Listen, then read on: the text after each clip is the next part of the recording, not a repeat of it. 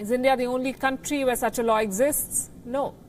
In Australia, the Terrorism Extraordinary Powers Act came into effect in 2006. This act provides Western Australian police with the necessary powers to prevent a terrorist act from taking place or to be able to appropriately respond in the aftermath of such a terrorist attack. This is in addition to the National Counter Terrorism Plan. Critics say that these powers go too far in undermining civil liberties without any proof that they make the citizens of Australia safer.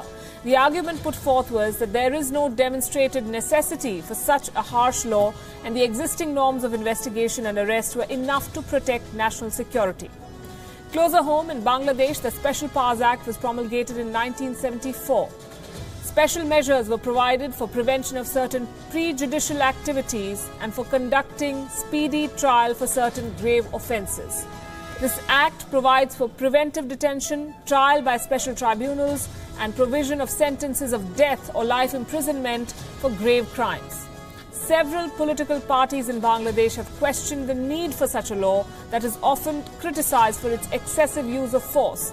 But successive governments have failed to repeal it. Some political parties have also been accused of using it unfairly to target their political opponents. Next on the list is Northern Ireland.